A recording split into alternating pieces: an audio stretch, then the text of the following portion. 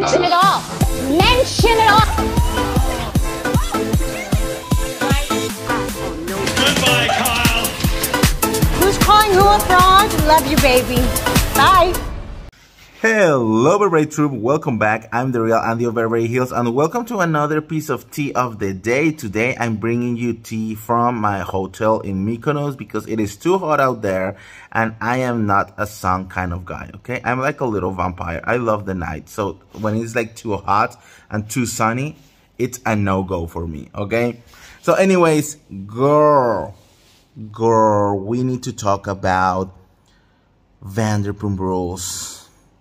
But before we get into it, do not forget to subscribe to my YouTube channel. Do it right now. If you are new here and you want to join the Beverly Troop, subscribe, subscribe, subscribe. Hit the notification bell, guys. We are on our way to 30K. So if you want to join the family, you know what to do. And let's talk about these friends. Friends? Mess. Oh my God. Anyways, girl, Vanderpump Rules. It is official. We have season 10 of Vanderpump Rules coming.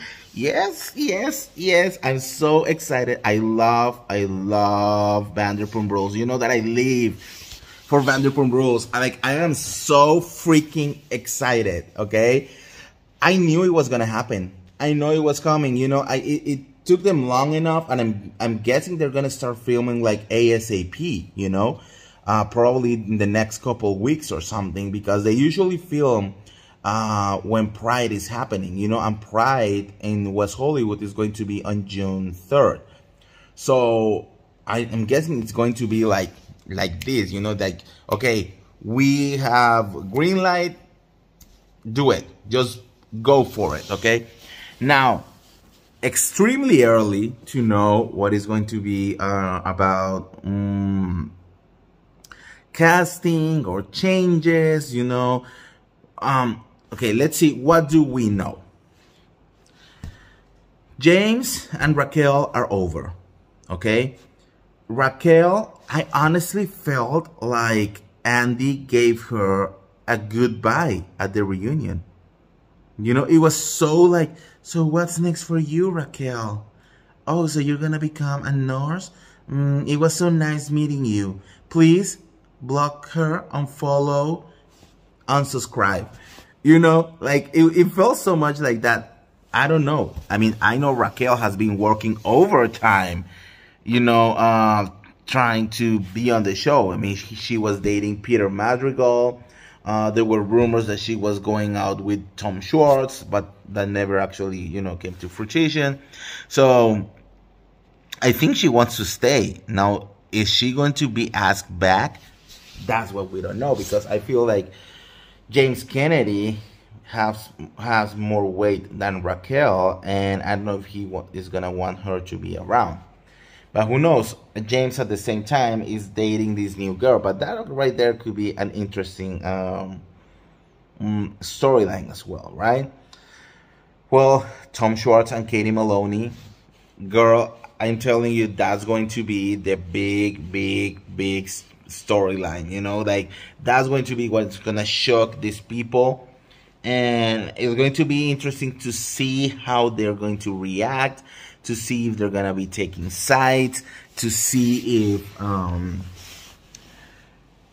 i mean what is going to happen you know? And it's gonna shock absolutely anyone everyone you know? Um tom sandoval and ariana honestly i have not been seeing much from them uh, I think he was doing like tour with his um, group, but that's pretty much it. You know, I haven't really seen what they are are they into. Now, um, well, Scheana and Brooks, I mean, they're definitely gonna be coming back. I think they're gonna, yeah, just continue their relationship. I think they are on such a better space this time around that last year. Um, last we know, we heard uh, Brooks already paid all his uh, child support, and he was uh, doing all the due diligence to actually see his kids again.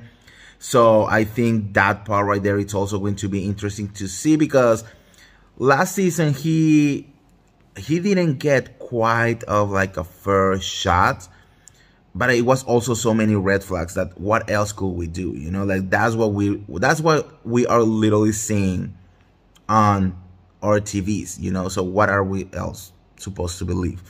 But I know that he's in, in a way better shape this time around. So I think it's going to it's going to be definitely different, right, from last year. So I'm excited about that. Uh, Lala, I mean, I don't know if Lala is going to be returning, guys. Okay, she has been hinting many, many times that she doesn't know if Vanderpump Rules is the right space for her um, now.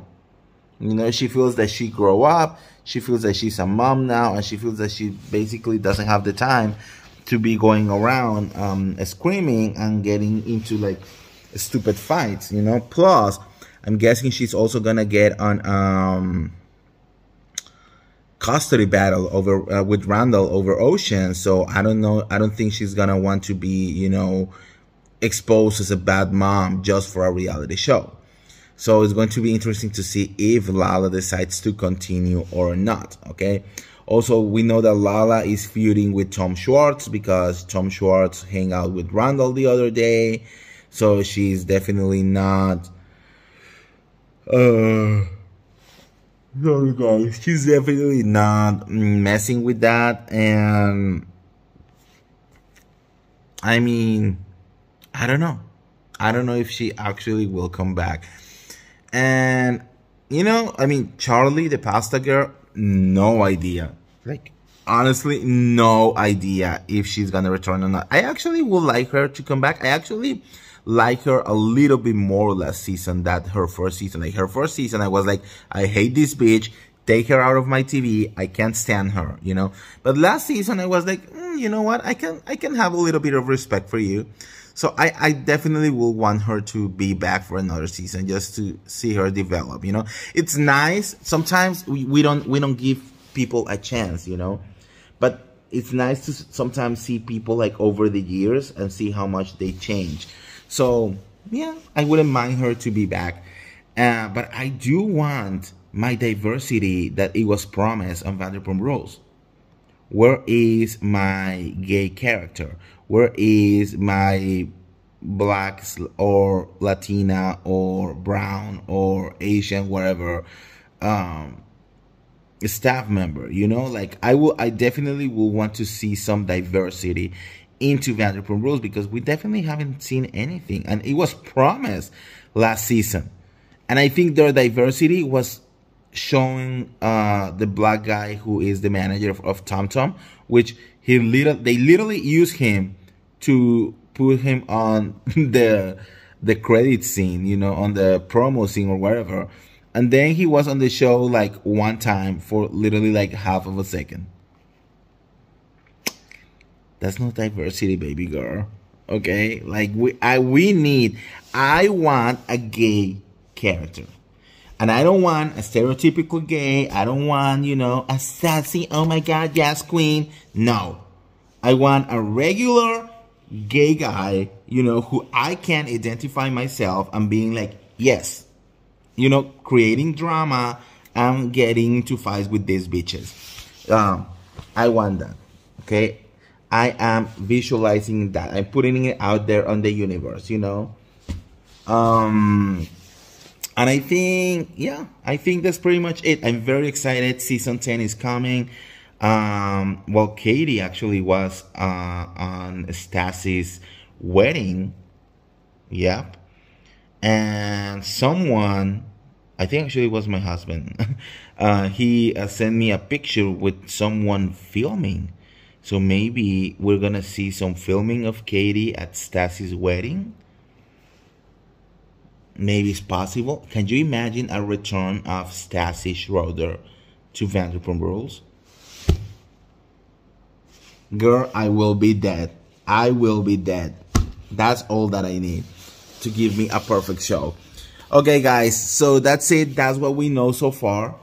Um, let me know what you think in the comments below. Are you excited for Vanderpump Rules? What do you what do you want to happen for next season? Let me know. And like always, don't forget to like this video, share this video, subscribe to my YouTube channel, and I'll see you around. See ya. Bye.